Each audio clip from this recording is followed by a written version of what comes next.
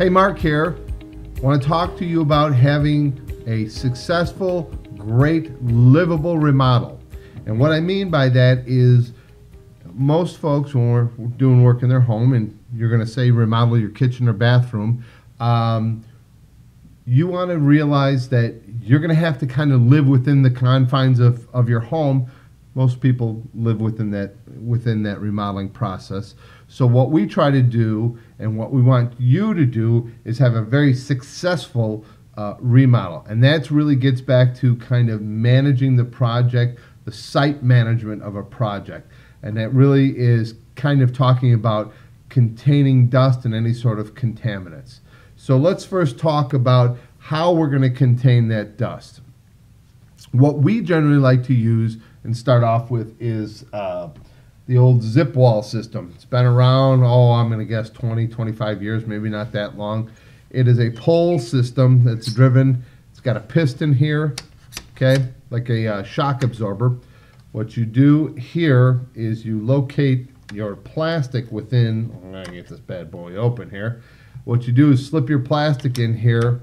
Uh, it's a foldable plastic, kind of a heavier, heavier duty, like a three mil plastic, almost like a thickness of a kind of a heavy uh, uh, construction grade garbage bag. So um, put it up in the room.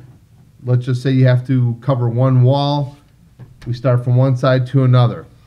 That's just this. And down the road, we're going to do uh, some live uh, on pro in project. We're going to show you how to set up a zip wall and how to kind of get yourself prepared for that livable remodel. Okay, so we're going to put that to the side here. And in that zip wall system, they have a couple things uh, that you can use what they call zip doors, which is kind of nice. Um, within that door, door, that plastic structure, you can um, attach this. It's got uh, some mastic in here, like a tape, that will uh, you can apply it. Uh, and and simply, it's it's it. This is generally for a doorway itself, where you can just tape it off to a doorway if you want to close close a doorway opening, or you can put this within the framework of the plastic, so you can have access. You, uh, your contractors, whomever uh, in and out of that project. And at the end of the night, you can zip it down and have it closed. Or say when there's a lot of work going on and a lot of dust, say we're ripping out uh, your backsplash or your tile floor. Uh, be surprised on how much dust is getting taken out. This will keep that dust really contained in the area that you're working in. So I'm going to toss this to the side here. Okay. Another thing we like to do, it's not something we have really anything for. Um, we like to cover all the air returns and the, the vents in the area so no uh, no dust goes floating into the ducts and then you have to have your ducts clean and stuff so we try to minimize dust as much as possible so that's really kind of we've contained it okay now we're going to talk about um, surface surface protection and then we're going to talk about uh, using a dust control system so let's talk first about what do we use to cover certain items. Let's just say um, you're going to go ahead and you're going to remodel your kitchen, okay? And you have a, a little family room next door, uh, right next adjacent to the kitchen. What we highly recommend is this real lightweight, uh, I don't know, it's three tenths of a mil or whatever, real lightweight plastic here. It clings to just about everything. Sometimes you can, uh, with the static electricity, you can almost get it to cling to a wall. Does a great job. Uh, easy on, you can put it on, throw it off. Pretty inexpensive. Definitely something you're going to want to go ahead and go ahead and use for your for your you know furniture, uh, possibly some light fixtures. Uh, we've got a product that we we're we're actually kind of developing uh, to work with covering uh, some light fixtures. So that's another great little product. I see Hannah's joined us. Thank you, Hannah. And who else is out there? Elizabeth, let's see. Oh, well, thank you. Uh, thank you, Elizabeth. I appreciate that. Okay, so that's that's that product. Now, um, if we're going to go ahead and cover the surface of, let's say, tile, um, granite or quartz countertops, and we're just looking to cover it keep dust off of it when you're working around it. This is a great product. This is an all surface protection. It comes in a color green, so you can kind of notice it when you're walking.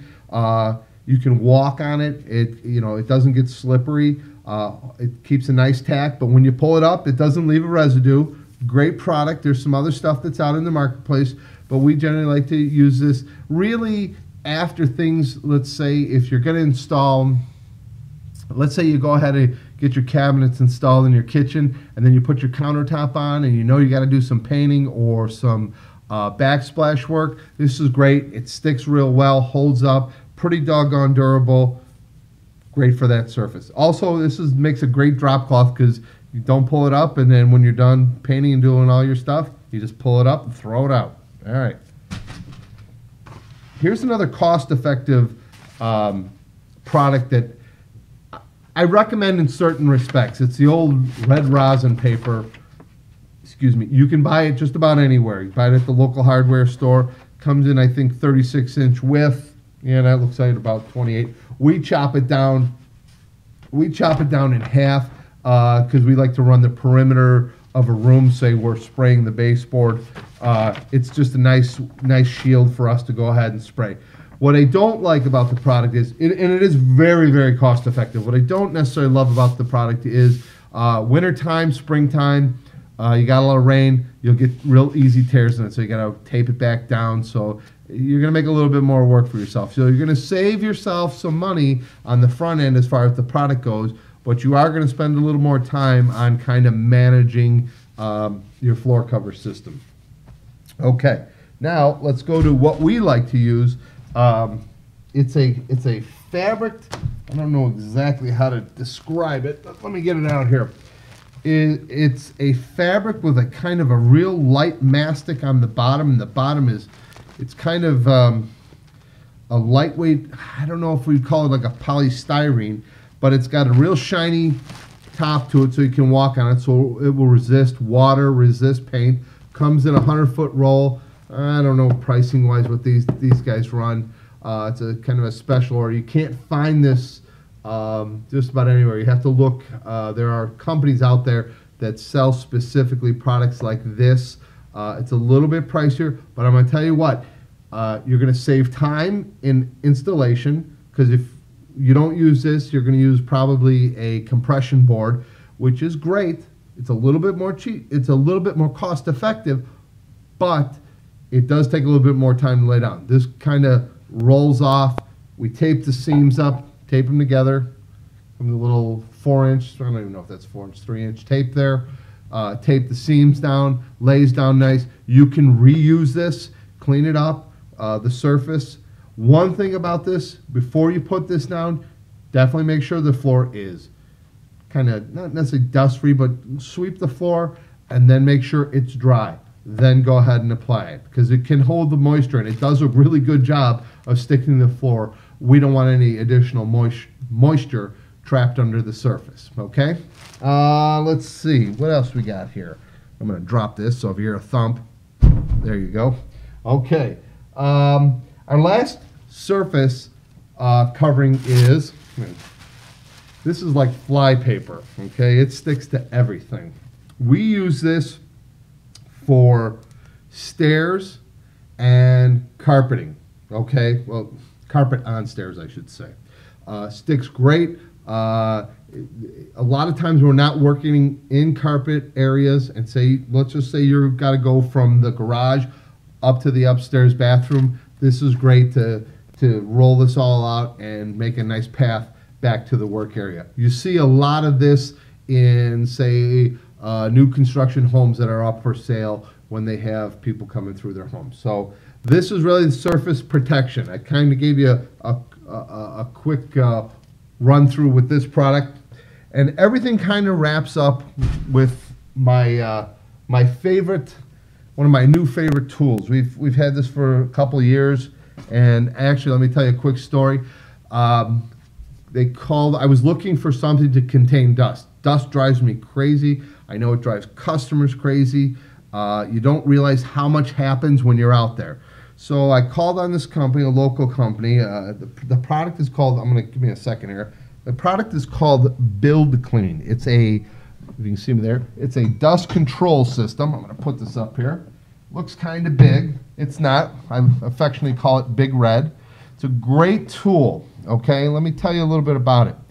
Um, it's about 35 pounds. It has uh, basically adjustable settings here low, medium, high, and then there's auto. Will cycle up and cycle down. There are two filters there's a coarse filter and a fine filter on this.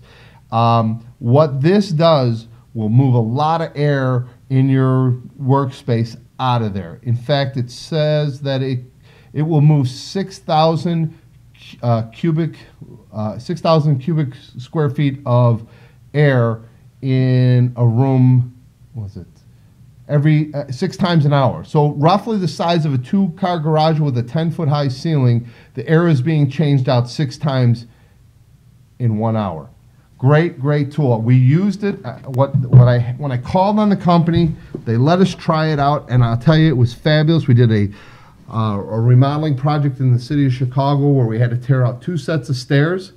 And the beauty of it was, never used it before. We put up our zip walls, we contained everything, and I'll tell you, it was a plaster project.